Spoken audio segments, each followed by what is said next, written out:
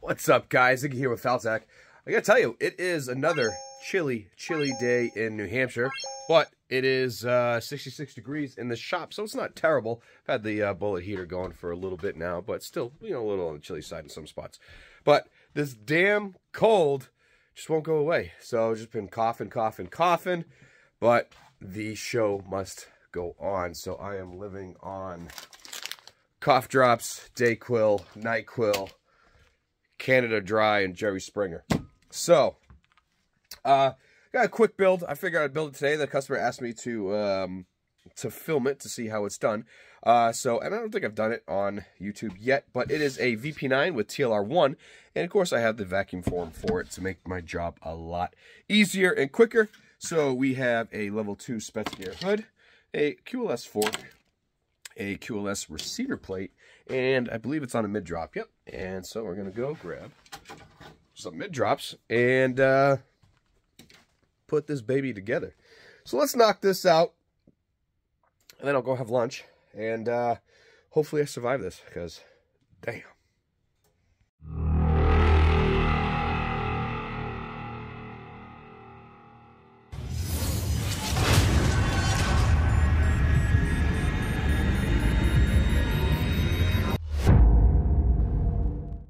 The heat presses are on. This is nice and warm, so later on we're going to drop it to get the moisture out of the pad. So, but that's been on for quite some time. So let's come over here and build it. All right, we got the VP9er. We got everything that we need blocking wise. So, I mean, we're going to have to grab some stuff here, but might as well throw it on. So, uh, VP9 ends right here. Let me just grab the VP. So Blue Guns actually offers uh, black as well. This is the only VP9 that was available at the time, so I got it in black. So, put this on here. So, uh, YouTube, this is not a real firearm, so don't dock this video. All right. Ah, so we see it goes all the way to the end. So we're going to want to throw that. We'll put that right about there. And come down like so. And do the same thing. And, ooh, that might just be perfect. Oh, a little bit too go on to the next one.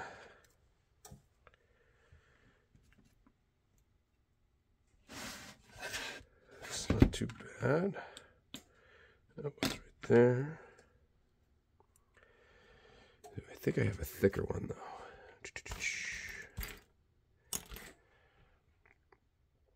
Oh, actually,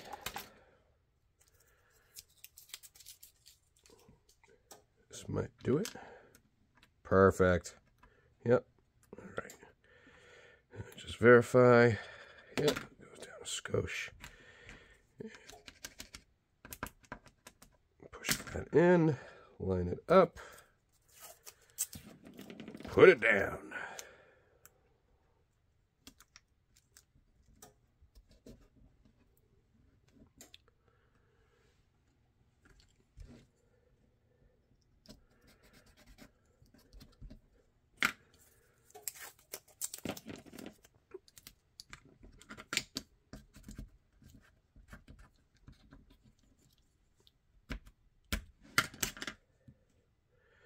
Yep, good spot. And then throw that right about there. Bada bing. Move it over a little bit and then get some blocking under that. Perfect. It's actually good all the way down. Get that piece of hair out of there.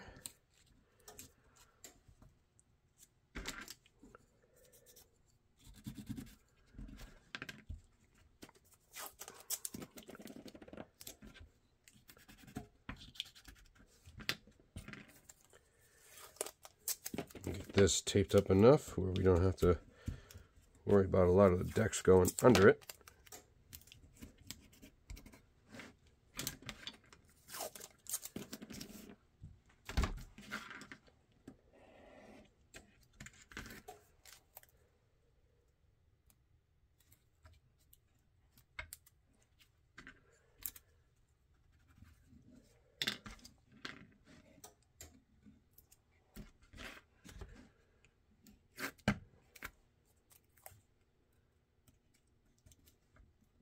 And I believe no bells and whistles.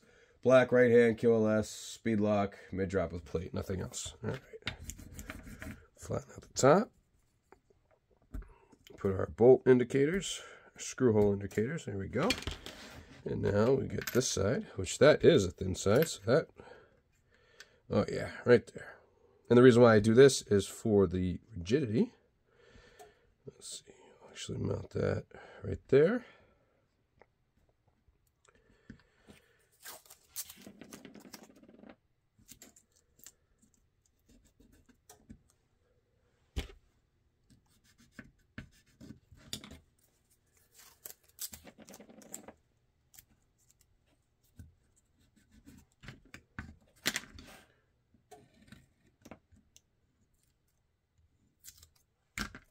Quiet in here. It's weird. Alright, and then that parallel to the slide. And good to go. Hell yeah. Let's get this. Put that through a cycle and then cut a piece of black that'll fit this. You know, it's kind of funny.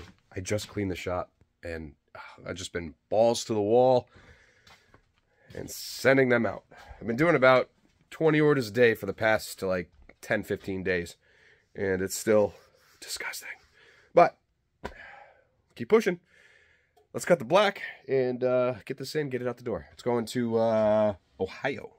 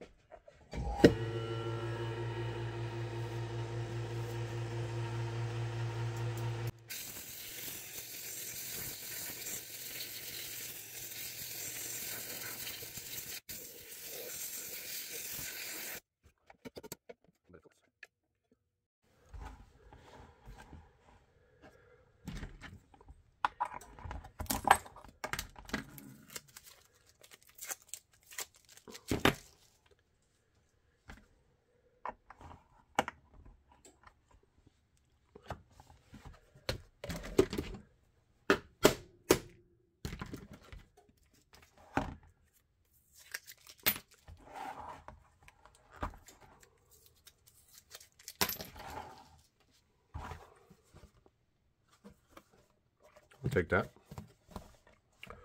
Now we'll drill out everything and cut. Drilled. And now I'm just going to cut it out in the bandsaw. You've seen that. It's pretty boring. So just knock that out. Then we'll make our tab right here. Cut out this guy. Oh, man. Add hardware. Finish it up. Good to go. Ship it. Goodbye. See you later. Oh, oh now that it's cut, I'm going to go ahead. We're going to mark where to drill and make our gusset.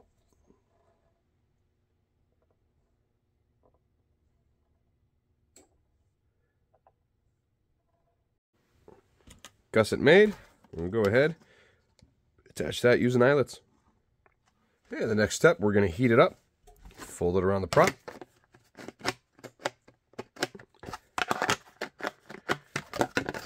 And then do a final cut, sand, buff, hardware.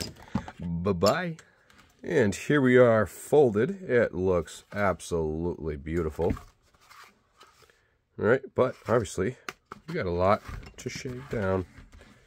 So you could do it on either side. We'll do it here. Come up. Let's go at an angle. Bam. Call it that right there.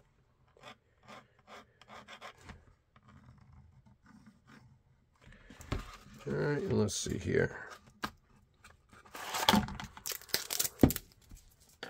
Let's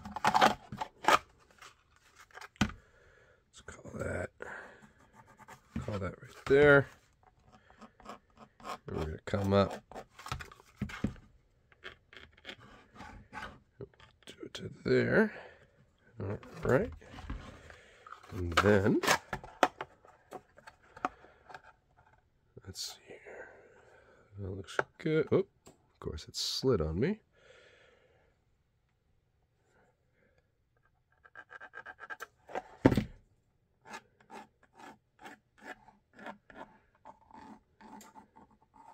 Okay, I'll cut that. We'll BRB.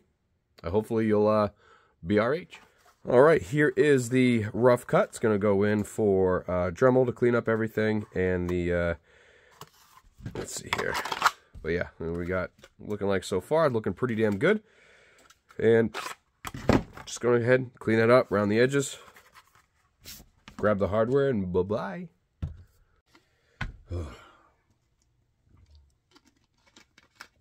Jerry, Jerry. All right, here we go. Let's get it, uh, let's get this baby built. We'll do half inch and half inch posts and rubbers for the QLS fork mount, minus uh, gray hair.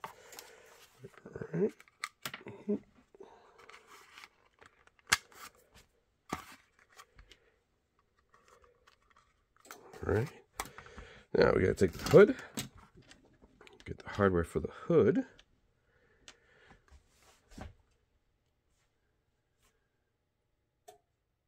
Magic Blue Juice. These are also half inch. And before I take the hood, I usually throw some lube in there. Work it a couple times and spread it out. Remember, you can't go too tight because it binds up the internal workings of these.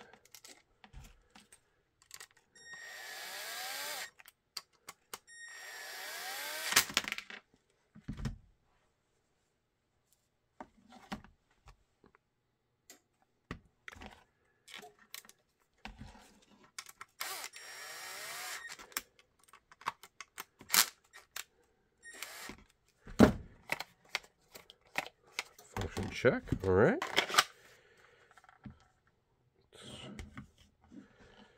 Mark where it's going to go.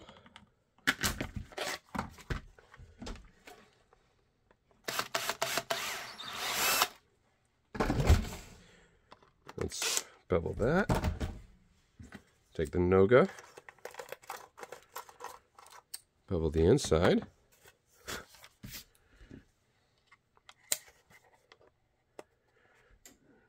Right.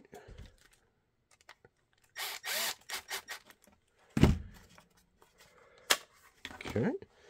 Let's get some hardware on.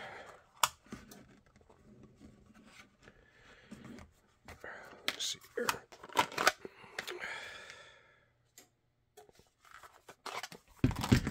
Yeah, I normally do quarter inch. These are 3 eighths, so I'm going to try those. Kind of adds a little bit more tension uh, with the pushing out, but also kind of gives you more room for adjustability.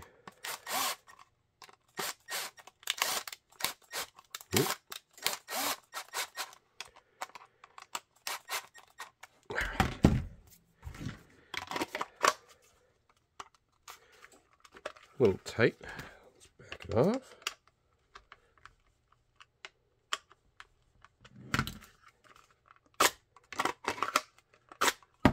Go just a little bit more.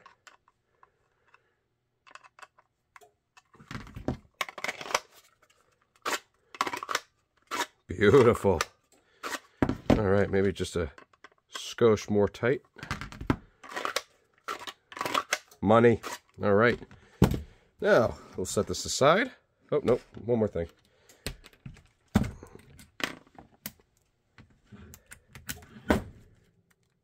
Got to get the QLS on there.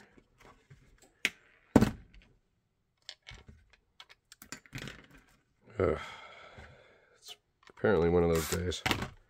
All right, like my daddy always said, don't tighten everything up until all of the bolts are in.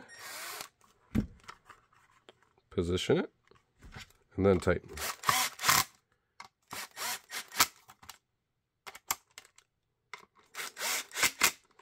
Here we go. Now we got to mount this to this. These ones already got the thread locker on them. We're going to take these nuts, line them up in the respected hole.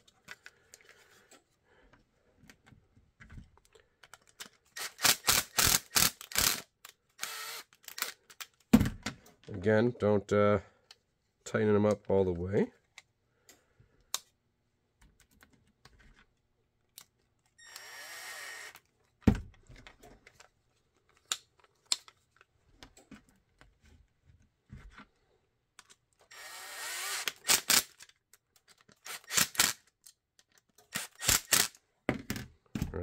Now we can. So, we got a VP9er with TLR1. Outside the waistband, right hand, mid drop. And for those of you that don't know, if you have this particular setup, you can leave the mid drop on your belt like so, and then you can swap out any holster that has the QLS fork. So, bada bing. Right, this came out absolutely gorgeous. Again, I can't, I love vacuum forming. So honestly, so I know I asked you guys before if I should keep with foam pressing or offer both of them. And, uh, well, for the time being, I'm still offering foam pressing. Uh, I am slowly getting off the foam. So pretty much what I'm doing is anything that I'm seeing that I have duplicate orders of for the same thing, obviously duplicate, then uh, I order a vacuum mold and then um, everything else is going to go bye-bye. So I'm going to slowly transition away from molds and go, or from these and go to these. That way, uh, lead times will drop, things will get faster, more precision, and uh, it'll be all around better. But that means there's going to be some stuff I can't do anymore. But I'll uh, tackle that issue uh, once it comes here. So for now, I'm going to keep things the way they are. I have been removing some stuff. I did remove the rush option because I had like I think it was like 40 rush options at the same time, so I removed it um, because that just, it keeps other people waiting because I take all those rush options and I build them first. So that means, you know, I still have the ones uh, that I'm waiting on uh, to build. Uh, and generally, if I have like one or two rush orders, I'll take one, like mix it in with five that I'm building. That way everything keeps moving. But when I have 40 at the same time, it just puts a halt and everything else. So I removed that to stop that from happening so I can remove or keep moving stuff. So again, this one's going to Ohio. Uh, I hope you guys learned a uh, tip or a trick or two or whatever, you know, something that'll make your life easier when building holsters or the fact that, you know, just learning how these are made and the tools that we use to uh, make these holsters. So um, thank you guys for watching. Huge shout out to Holstersmith and Knife Kits. All the hardware and everything you see is from them. Um, the mold is from Blue Guns flashlight I ordered, or I buy directly from them. And then uh, the mold is obviously Pale Horse. For those that ask a lot of questions on where I get stuff, I usually put it in the description of where it comes from. You know, so like all the hardware, multi-molds, and a link to their website, Pale Horse. It's in there as well for the molds when I use Pale Horse. Multi-molds, uh, you know, the list just goes on. So on that note, I'm going to go in, grab a bite to eat, take care of the dogs, sit down for a minute, because this is getting windy. Go get my drink and uh, ship this out and move on to the next one. So I appreciate all you guys, and uh, I will see you on the next one, which there's some pretty cool stuff coming, and I can't wait to build them. I got the uh, epoxy out because I have to do duplicates for this particular setup, but you guys will see that eventually, and I'll see you on the next one. Bye. And these are the orders from today so far.